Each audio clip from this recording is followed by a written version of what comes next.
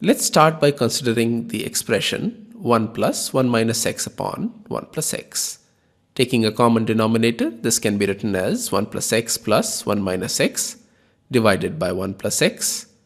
x cancels in the numerator and therefore this expression is equal to 2 divided by 1 plus x. Now raise both sides to the power minus n. Therefore 1 plus 1 minus x upon 1 plus x raised to the power minus n is equal to 2 upon 1 plus x raised to the power minus n which can be written as 1 plus x upon 2 raised to the power n which in turn is equal to 1 plus x raised power n upon 2 raised to the power n. We therefore have the result 1 plus x raised power n is equal to 2 raised to the power n times 1 plus 1 minus x upon 1 plus x raised to the power minus n. Using binomial theorem to expand the right hand side, we get 2 raised power n times in brackets 1 minus n times 1 minus x upon 1 plus x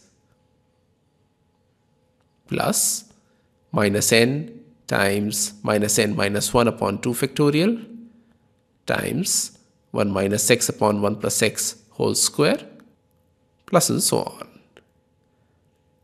This simplifies to 2 raised power n times in brackets 1 minus n times 1 minus x upon 1 plus x plus n times n plus 1 upon 2 factorial times 1 minus x upon 1 plus x whole square plus and so on which is the desired result.